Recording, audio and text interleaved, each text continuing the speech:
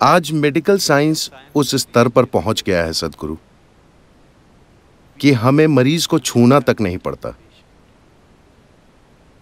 जब कोई मरीज़ मेरे क्लिनिक में आता है तो वो हर तरह के टेस्ट करवा चुका होता है। सब कुछ हो चुका है, सारे चित्र सामने हैं हिस्ट्री लिखी हुई है, सब कुछ प्लान हो चुका है। टेक्निकली मैं रिपोर्ट देकर मरीज़ को बोल सकता हूँ, आपको बाईपास की ज़रूरत है या वॉल्व रिप्लेसमेंट की ज़रूरत है। लेकिन मैं फिर भी हमेशा अपना स्टेथोस्कोप लेकर उसकी छाती पर रखता हूँ, धड़कन सुनता हूँ, मरीज़ की आँखों में देखता हूँ, उसके कंधे पर हाथ रखता हूँ, मरीज़ को छूता हूँ और फिर उसे समझाता हूँ कि उसे क्या समस्या है और परिवार के साथ बात करता हूँ। मैं निजी तौर पर मानता हूँ कि उस स्पर्श में सबसे ज़्यादा हीलिंग पावर होती है। हमारी बनाई हुई किसी भी चीज़ से ज़्यादा। क्या आप इसमें विश्वास करते हैं, स्वामी जी?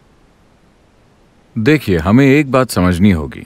यह सच है कि हमारा एक हिस्सा मैकेनिकल है, मगर कुछ दूसरे आयाम भी हैं। अक्सर मैकेनिकल हिस्से में गड़बड़ी इसीलिए आती है, क्योंकि हम दूसरे आयामों पर ध्यान नहीं देते। उनके जीवन में कमी यह है कि उनके जीवन को कभी छुआ नहीं गया। ज़रूरी नहीं कि शारीरिक स्पर्श तो बस एक अभिव्यक्ति है। मूल रूप से उनके जीवन को किसी भी चीज़ ने छुआ नहीं है। किसी भी चीज़ के न छूने का मतलब ज़रूरी नहीं है कि वो कोई रिश्ता ही हो। आपको बहुत सी चीज़ें छू सकती हैं।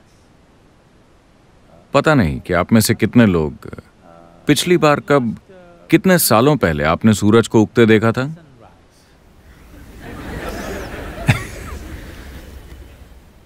या ढलते देखा था या चाँद को उगते देखा था। मैं कह रहा हूँ कि आपको कोई भी चीज़ स्पर्श नहीं करती। पिछली बार कब आपने किसी फूल के खिलने का इंतज़ार किया? कभी नहीं।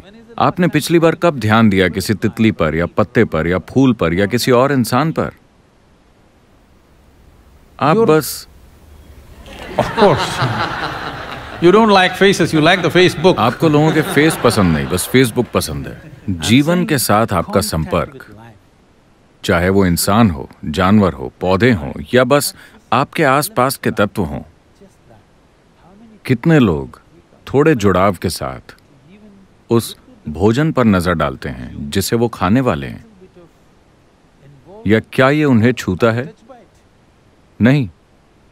तो आखिरकार, या तो एक डॉक्टर आपको छुएगा, या अंत में चिता जमाने वाला आपको छुएगा। अगर हालात बिगड़ेंगे तो किसी न किसी को आपको छूना ही पड़ेगा। तो क्या स्पर्श का महत्व है? ज़बरदस्त महत्व है। ज़रूरी नहीं है कि स्पर्श हमेशा शारीरिक हो। यह कई अलग अलग रूपों में हो सकता है। आप एक मरता हुआ जीवन है, एक ज़िंदा जीवन नहीं। कुछ समय बाद आपके साथ ऐसा हो सकता है, मगर ये हो रहा है। आप उस दिशा में बढ़ रहे हैं, क्योंकि जिसे आप जीवन कहते हैं भौतिक स्तर पर भी। अब ये अब ये एक आम जानकारी है कि आपके शरीर में कोशिकाओं, यानी सेल्स की संख्या आकाश गंगा में मौजूद तारों से भी अधिक है, ठीक है? हर दिन 600 अरब से ज़्यादा सेल्स मरते हैं और नए सेल्स पैदा होते हैं।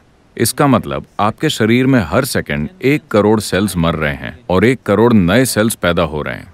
अगर आप बस पुराने सेल्स को आप छोड़ दें, अगर आप सिर्फ़ हर सेकंड अपने शरीर में पैदा होने वाले एक करोड़ नए सेल्स पर काबू कर लें, उन्हें ढंग से व्यवस्थित कर लें, उन्हें ठीक से बनाएँ।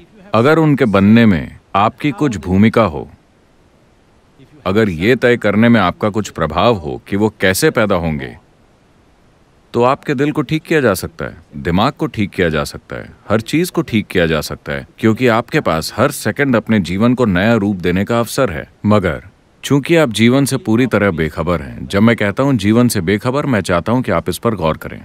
इस समय, आप खुद को एक जीवित प्राणी भी नहीं कह सकते, क्योंकि ज़्यादातर समय आपके अंदर सिर्फ़ विचार और भावनाएँ चल रही हैं।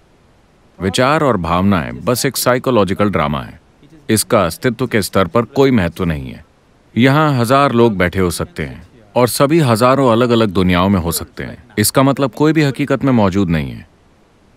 कोई भी जी नहीं रहा है। हर कोई जीवन के बारे में बस सोच रहा है। आपकी दिमागी दुनिया में जो चल रहा है, दुर्भाग्य से, वो जीवन की वास्तविक प्रक्रिया पर हावी हो गया है। आप जीवन को अनुभव नहीं करते। आप सिर्फ़ अपने आसपास के हालातों के बारे में सोचते और प्रतिक्रिया करते हैं। विचार और भावनाएँ हर चीज़ पर हावी हैं। तो आज सुबह सूरज समय पर उगा। आपके लिए ये बड़ी बात नहीं है। हाँ ठीक है तो क्या? नहीं आपको समझना चाहिए। अगर कल सुबह सूरज नहीं होगा तो 18 घंटे में इस धरती पर लगभग सारा जीवन नष्ट हो जाएगा। तो मैं आपको बता रहा हूँ कि आज सुबह सूरज समय पर उगा। मैं सही तरह की आवाज़ें सुनना चाहता हूँ। Yeah. सौर मंडल में कोई ग्रह किसी दूसरे ग्रह से नहीं टकराया। पूरे ब्रह्मांड में कोई दुर्घटना नहीं हुई। इस अंतहीन ब्रह्मांड में कोई दुर्घटना नहीं हुई। सब कुछ बढ़िया चल रहा है।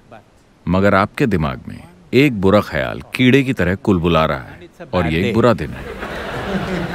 मैं कह रहा हूँ कि आपने जीवन का नज़रिया पूरी तरह खो दिया है। आप ये भी भूल गए कि आप वास्तव में क्या हैं। ये एक तरह का पागलपन है। एक बार जब आप अपने बारे में और इस अस्तित्व में अपनी भूमिका और स्थिति के बारे में सही नज़रिया खो देते हैं तो आप एक बीमारी बन जाते हैं।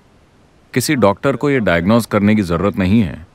यह पहले से ही चालू है। किसी दिन ये ऐसे स्तर पर पहुँच जाएगी जब उनके इंस्ट्रूमेंट से स्पर्श उन्हें इसकी जानकारी देंगे। मगर यह बीमारी चालू है। यह प्रक्रिया जारी है। जब यह एक सीमा से परे चला जाता है तो वो आपका इलाज करेंगे या सर्जरी करेंगे, मगर यह प्रक्रिया जारी है। आप पूरी ताकत से उस दिशा में बढ़ रहे हैं।